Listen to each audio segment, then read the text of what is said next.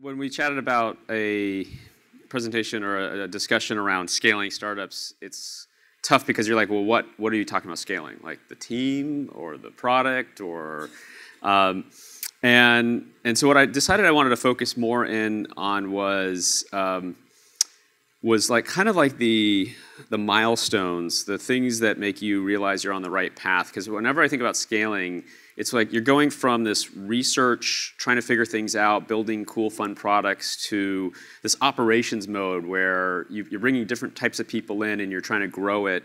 But basically, you kind of have that product figured out. Um, one of the challenges I've always found, though, doing startups, I've, this is my sixth company I've started, uh, Markov, uh, has always been actually figuring out if you actually have the right product and you have the right customers and you're serving them well. Uh, and so I just wanted to show a little framework on, um, on how that works. And then I want to apply that framework to Clover.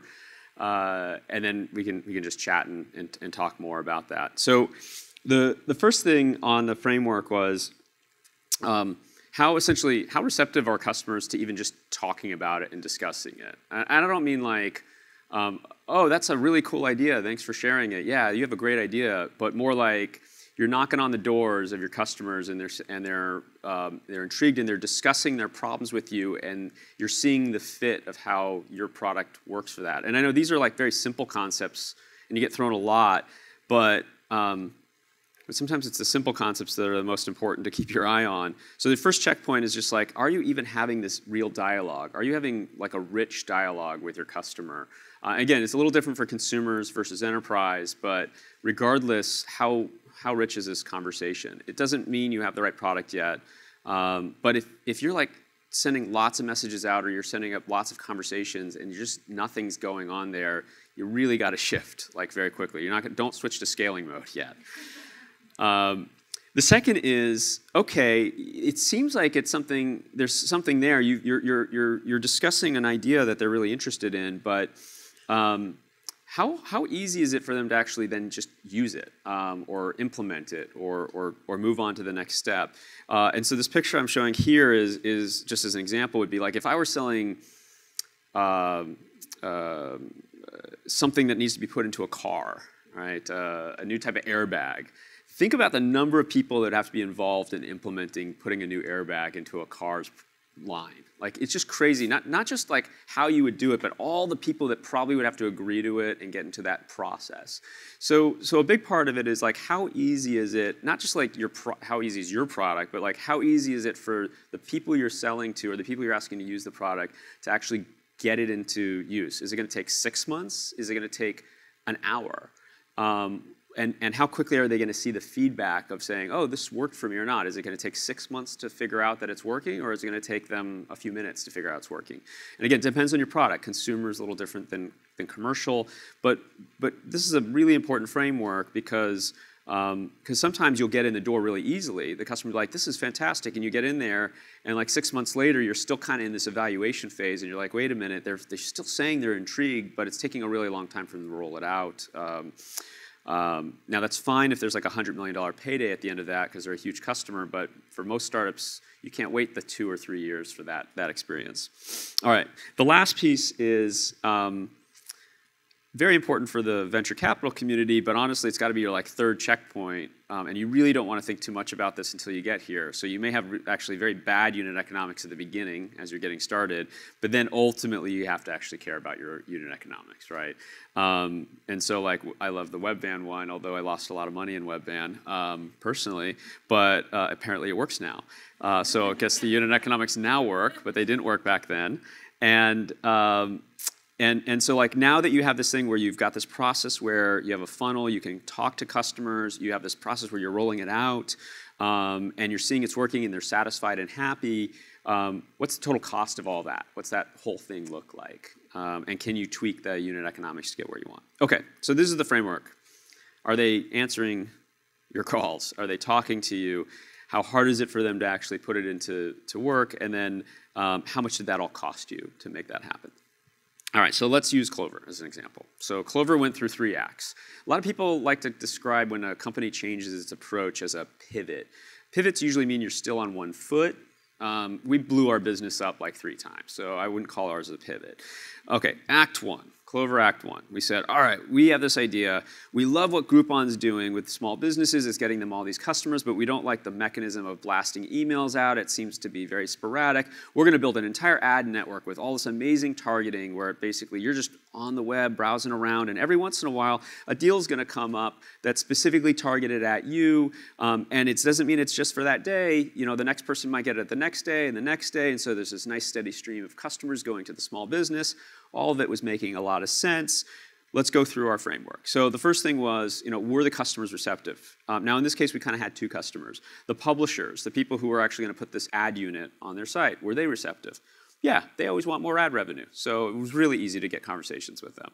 Um, second, the small businesses. Were they receptive to essentially offering you know, deals or, or trying to do this? Yeah, they were always desperate for customers. So anytime you're building a product that gets people customers, it's like much easier. Like this step is the easy part. Okay, is it easy to buy and use? Um, well, the way we designed it was it was this little widget that you just put a little piece of script in the footer. That meant that there's this like the one guy who always did the ad stuff. He always stuck in one by one pixels. Super easy. You gave him a little thing. Easy. So we were getting on all these sites. We had like about four million eyeballs on all these different sites. Very easy. Okay. Small business unit, uh, small business owner. Is it easy for them? Well, they're not putting any money out, right? They're deals, so they only have to pay when some new customer comes in, and then they're giving a discount. Last part, unit economics. Now, and we had a huge, like we had built up a, a sales force of 20 people in New York. It was the former Yelp guy who ran a, a, chunk of Yelp sales. It was an amazing team. We had amazing deals. We just focused on New York. We had all the concentration we needed. We had an amazing data science team targeting awesome product for basically for every hundred dollars of ad inventory we used, meaning for our, if you thought about our pop-ups as using someone's ad inventory, we were generating about a dollar of revenue for the publisher. Doesn't work. Like not even close. Um, really confusing too, because we're like, ads suck. Like this is all targeted and it's really good, but people weren't clicking through, and the only way for the advertiser to get paid is if the person actually went through an e-commerce flow. And it turns out that banner ads are awful for e-commerce, other than retargeting. And retargeting isn't really banner ads, it's, it's different. But we looked at this and we said, okay, is there something we can tune or tweak? Like, we shouldn't just give up yet. Like, this could still work. And we let the team play with a whole bunch of different ideas, different channels, different ways of doing it. You can't really come back from, oh, like, you're off by a, like two orders of magnitude. I'm sorry. So very quickly, we shut the business down. Unfortunately, this amazing team in New York, we laid them off. Like just, it was brutal, but we're, that's an expensive team to have. So we moved on. Act two. There's not 100 acts, but there's way more than you'd like to see here. Act two. Um, while we were doing all this, mobile was really fascinating. It was ju just starting to come out, and we were amazed how many people would just like download an app that does like nothing. And we're like, okay, um, maybe, maybe there's something here because everyone was active on our mobile stuff. the unit economics still didn't work on, on Act One, but maybe we need to focus there. What's one of the major problems of someone actually doing e-commerce in mobile was um, getting someone to type in their credit card and all that information was ridiculous on mobile. Like it had a really poor conversion rate when you get to checkout flows. So we said, maybe this is the area we can focus in on fix. Um, we went and we talked to folks. We built this app that was essentially, you know, equivalent of just like a mobile-only PayPal. Um, and you didn't even log in. Like you just, it was just, everything was one click. It all knew who you were. Kind of like what Android Pay and, and uh, Apple Pay eventually launched. So think of that, but before those. All right, went to the e-commerce companies. Were they interested? Yeah, they were interested in anything mobile.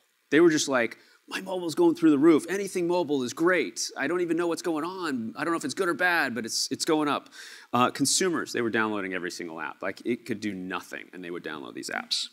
Um, was it easy to buy and use? Well, changing a person's checkout flow is actually not as easy as, as one would think. Um, and so we gave them, I mean, we're good at software, but we gave them ways of thinking about doing it, but their checkout flows were fairly rigid as far as how that would work. And we needed them to kind of bounce from one app to another to make it one click. And so it was, it was a little bit tough for them to really think about.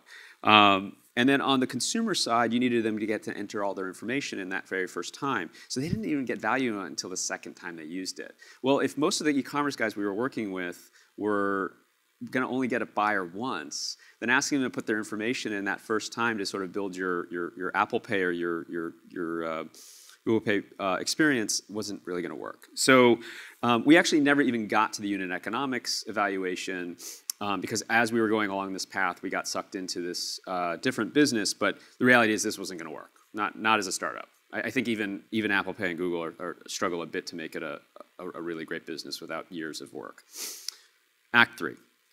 Um, while we were doing the wallet, uh, we started getting a lot of interest for like, how can you make your wallet pay at a point of sale system? Like, I, I don't know, we've never done anything with point of sale system. Um, and so we, we, we came up with this idea of actually building an open platform point of sale system so people like us could actually connect with a point of sale system. So there actually was a way for people to build apps that connected in. Um, and, and we went out there and we said, okay, small business owners, they, they have the majority of these businesses. Um, are they willing to talk to us about it? Yeah, they, they won't answer emails. They're, they're, they're not in front of a computer all day, but they'll pick up the phone and they'll talk to you. And you can have a rich conversation and learn what their pain points are and their problems. And that's a huge part, like I said, it's not just about them picking up the phone, but that you're learning and figuring out whether you can solve their problems. The second was it was really easy for them to make the, the purchase decision. So after they talk to you, I mean, you didn't have to necessarily even go on site at all. You could, you could literally make that sale um, and they were the decision maker. They could make that happen. And then the last piece is unit economics. Um, and this one I need to talk. This one is where scale does actually matter. Uh, but it worked here because they were willing to pay for the equipment, and you get this recurring revenue stream. So there was generally the bones of everything you need here. So we got to this stage, and we're like, okay, now we actually need to think about scale. So that's what I mean by like scale. I didn't really come in and tell you, well, what are all the steps you need to do to scale? Because I think the biggest problem we mostly have as startups is when we switch from that mode and where we say, okay, now let's pour gasoline on it. Let's go ask the venture capital community to give us millions of dollars because we're going to hire that all these people who are great at scaling. It's really hard to get to this stage, and this is what you should be spending the vast, vast majority of your time on um, uh, to get to that next stage. Okay, so Next stage.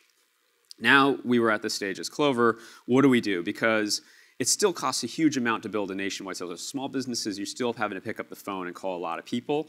Um, or we need to find a partner that could give us the channel to get to these same customers. All right, so these were our two choices. We could go either way. Um, Spoiler alert, we went with this approach, the partner, uh, partner with the channel. And the reason we did was because there was an appropriate partner out there. It doesn't work this way with actually a lot of industries, but there was for this industry. Why? Because there were these huge payment processors that were out there with huge sales teams, and they were all selling the same product. They were like reprogramming your card terminals, and that was like, I'll get you a slightly better rate. And that was the entire industry, basically. Um, and so they didn't have any differences between their products. They were all undercutting each other. And then Square's coming in, and, and Square's actually not even eating into most of their businesses. They're mostly brick and mortar, but it's scaring, scaring like the bejesus out of them. They're, they're freaking out because they're like, what happens if Square comes after my, my customers next? So we had this opportunity to go talk to all of these people. And, and initially I, I was like, oh, how are we going to get in the door? And my co-founder's like, why don't we just email like the CEO and the CTO? And I'm like, why would they take a call from a startup? He's like, well, I'm going to go do it. And he goes and does it and he gets all these meetings. And I'm like, damn it, I was supposed to be the business guy. You're supposed to build the product and I'm sucking at the business side. You're doing a great job. But, but it was that much of a problem for them that they were willing to really have that conversation. Um, and so we got to very senior levels at that point, which is what you need for any deal where you're actually going to rely on someone for your channel. Um, and, and it did work out. So this is, we, we ended up ultimately selling to one of our channels, First Data Corporation. Um, but this was fun because here's my, my co-founder with his, you know, his fists up. He's standing next to the CTO, uh, CEO of First Data, and they were just at the New York Stock Exchange because they crossed the 1 million um, hardware shipment mark, and, I'm guessing this year they'll be bigger than uh, Square on total payment volume. And uh, it was just a lot of fun. Um, but this worked. It doesn't always work this way, but we made this choice on that sort of scaling side after we'd had all those first three checkpoints done. The last thing I want to mention is you don't always have this case. So what are some of the things you have to think about there? I'm not going to argue that I'm the, the best at this. Um, I'm, I'm going to say that I'm learning this all the time, constantly as I go. And the way I learn it is like I bring certain people on as advisors or board members. So like right now, I have a much more enterprisey type of um, product without necessarily the same channel approach. And uh, so I brought on a guy who had built up parametric sales teams and then, you know, uh, VMware and sits on the boards of Atlassian and other things like that. And I said, please join my board so I can learn from you. Um, and another guy who comes in and just really kicks the crap out of us on the sales and building sales up um, and thinking about it. I'm going to share, frankly, I'm going to steal from them and share what I'm learning from them, um, which is one, uh, once you're kind of building sales up, it's it's more like you have to think about manufacturing. And if you haven't done manufacturing, the challenge with manufacturing lines is it's not like you're just hacking stuff out. Like you kind of have to think through the whole thing and line it up um, and build a, a, bit of a machine to it. And there's a there's a there's a real science and expertise that goes into people who build great sales organizations up, and they have all their different techniques that they use. But um, but you need to think of it that way. So you just don't hire just a random person here and a random person there. You really need to hire somebody who's actually able to think through like how would i change my messaging and how would i change the different approaches I, I, talk to the customer and how do i get the dialogue going and then how do i give you that feedback so you can make the product better um, versus just the person who just gets out there and, and is just you know just making lots of phone calls, but can't reposition what he's saying. So when we started Markov, I brought in a salesperson early on who was from the industry, and I kept noticing, like, when as we were shifting, he just kept saying the same pitch and the same thing again and again. He couldn't figure out how to change what he was saying. Um, and that didn't work. Uh, and so I had to let him go and bring in somebody who I pulled from Lyft, who who just was much more experienced at managing teams and building that out and being able to understand how to craft that. So don't don't hire that. Um, hi, and then that means also you're hiring a sales leader who knows how that machine works and knows how to think about it. Um, and the last one that was really interesting was uh, that I learned is don't just assume you hire a salesperson and all of a sudden they're just they take care of sales. Actually, the very first thing you want to do when you hire your, your first salesperson or sales lead is like send them a bunch of leads. Like it's a machine, it's not a cold start process. So you're you're trying to put the leads in there so they're having a good success and they're working through it. They, are tuning it but you got to feed that machine um, and once you do a great sales team can do amazing amazing things. It, it, it, really is remarkable and i think in silicon valley we totally underestimate the importance of sales and what we do there. I'd say that 95% of the companies here fail not because your products aren't awesome but because you actually do a crappy job on sales. Um, and sales doesn't mean like knocking on doors. It means understanding the customer's problems figuring out how to get it in there, and then making sure the product actually matches and you can deliver on that value proposition. So anyway, um, that's I think that's all I have here on the slide. So um, I'm going to pause there and maybe just take a couple of questions. Yeah, we have time for about two or three questions.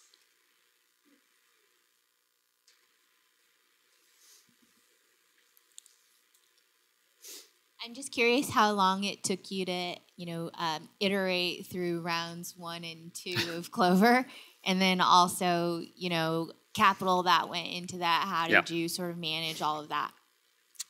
Yeah. Uh, so I usually bias almost ongoing. Well, I've had some startups that haven't gone as well as I'd like. My very first company I started was an instant messenger. Before they called it instant messaging, you know, ICQ beat us, um, but we were there.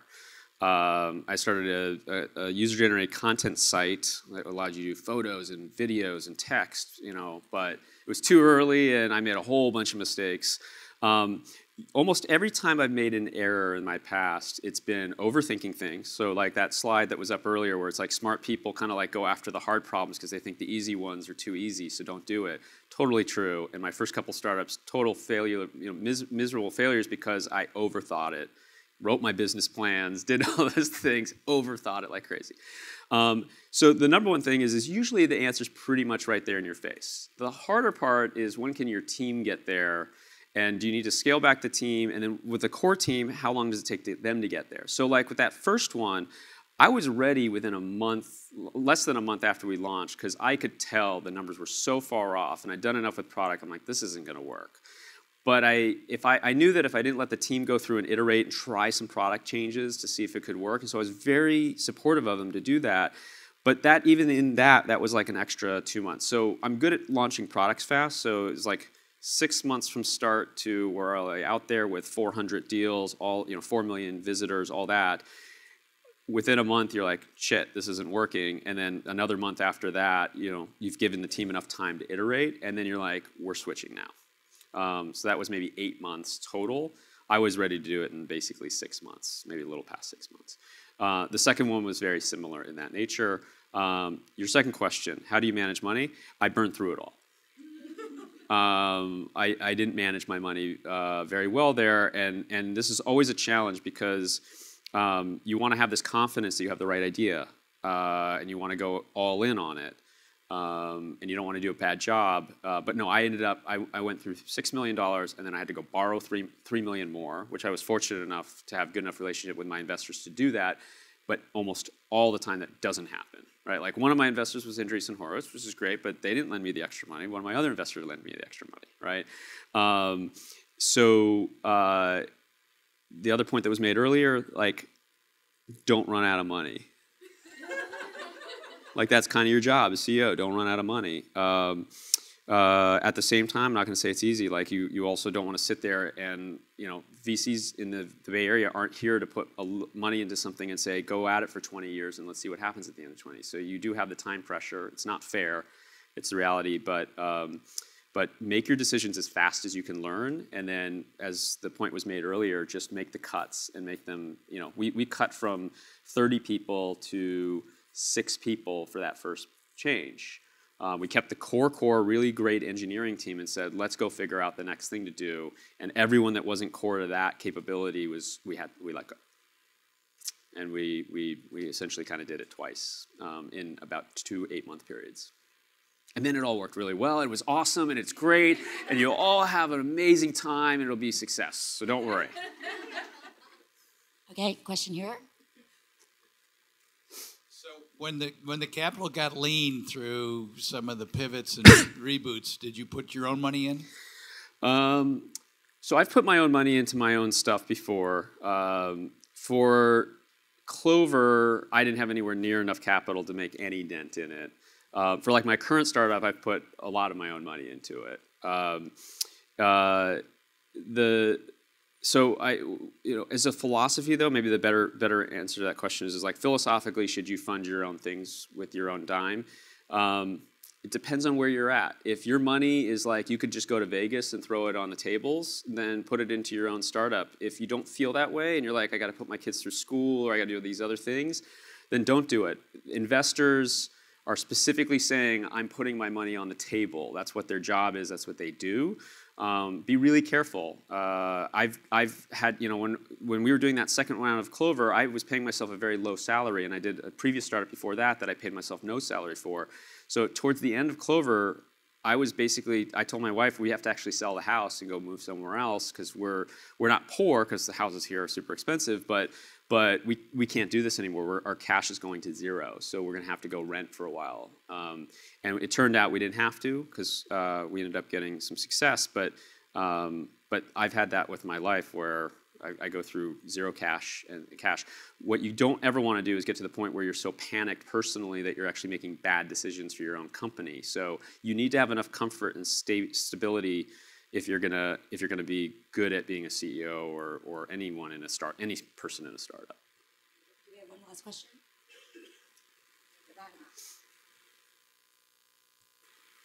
So I actually very recently became aware of Markov ovens um, through a, a, a use a, a very fanatical user of yours, and I think the thing that is really truly astounding about this product is the people who know about it are crazy about it. Nice. Um, when you get to the point where you've you've blown past gate one, you've blown past gate two, and you're standing there with Clover iteration one, you're trying to figure out, Jesus, how do we make the economics of this work? I don't know if you've you're you've had that uh, kind of same process with Markov. I, I assume so because hardware is hardware. Uh, hard hardware is hard. Um, really, fundamentally, how do you make the choice, the product decisions around um, clearing that first gate and making unit economics work uh, by you know potentially if it means compromising features compromising those things that make people fanatical. Um, and it depends on the business you're in. Like i'm in a hardware business now where i can't just tweak it and change it and move it around. It's really expensive anytime i change hardware. So I'm very like I I do have to if I'm gonna pivot now I have to pivot with an oven that cooks right? Like I can't like change it to something I can't like all of a sudden do something different like some manufacturing process or something. So so um, with most people though they don't have hardware. Uh, and most people have software or services and, and so you have some more flexibility there.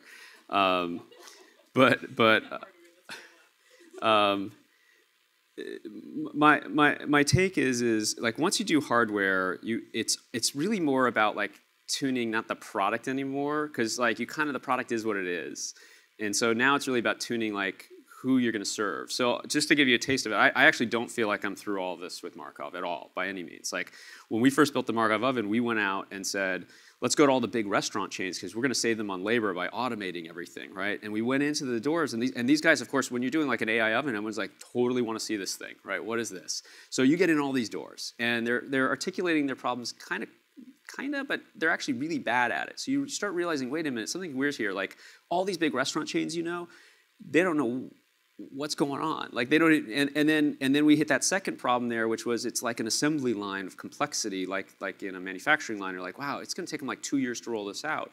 And yeah we might make a 100 million off of a subway or this or that but do we really have two years to do this? So we, we even with that we have to go through that process but there you're tuning like who your customers are and who you're targeting and how you're getting it to them.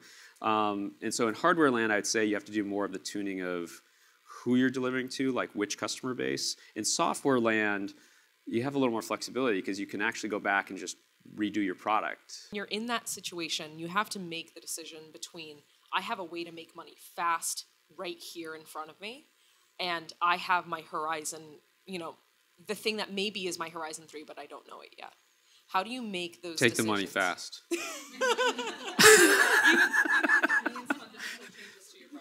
um, well, look, you have to be passionate about what you're going to do, but don't be married to the original plan. I mean, uh, like I said, like the only time I've ever had failures is where I was married to my plan, and then I, if I was refusing to make changes to my plan, but the ide- like the, the the the solution was right there. Just because it's you're not solving the problem you were maybe originally set out, but obviously you have to be passionate enough. You have to go in every day to do it. Um, but uh, you know when when um, when we were doing this user generated content site, uh, it was like, what if the content's really crappy then? Like, do we like that idea or not? Should we have our own filter as to what's going on there? And so, uh, but if that's, but but think about it. The people who first used user generated content sites were not like Stephen King, right? It was like all the people who couldn't be Stephen King wanted to use these things. So. Um, so your, your original vision might not be there, but if you find the problem, like when we did Clover, the point of sale guy started coming to us saying, connect your wallet to us. And we're like, I don't know what you're talking about. We didn't set out to build the point of sale system, but it was clear there was demand there. They could articulate it. There was a, a market there. So my, my point about you, if someone's offering you money, it means kind of like, wait a minute, they, they see value there. If someone's offering you money for something, there's value. Now, whether or not that's actually for your product or hey be a professional services team for us that's very different right like custom build us something is different than i'm buying your product but if they're offering you money for your product in a different way than you expected uh, think about whether there's a whole business line there like go do this exercise again Okay, I think we need to wrap up our Sorry. program. Thank you so much, Leonard. Yeah, that was thanks. awesome.